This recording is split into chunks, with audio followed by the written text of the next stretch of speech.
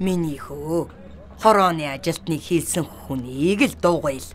Чи бит хоёр шиг ядарсан улсад хідэн хүнсний толоо хаач юм. Тэр үнэн ихч минь.